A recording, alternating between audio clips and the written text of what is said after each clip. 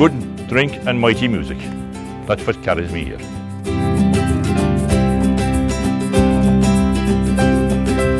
Great nights, great entertainment, lovely food, very relaxing, a great place to meet old friends and to join up with family.